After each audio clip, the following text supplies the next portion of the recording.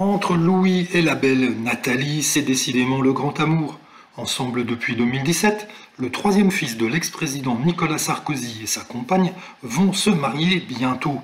En vacances ces dernières semaines avec toute la famille, le jeune couple devrait se passer la bague au doigt en octobre et serait donc en plein préparatif.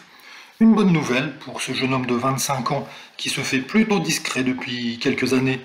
Sûrement lassé par les différentes polémiques, il n'est plus sur les réseaux sociaux, mais vit une jolie histoire avec sa petite amie Nathalie entre la France et les États-Unis, où le jeune homme passe beaucoup de temps depuis son adolescence.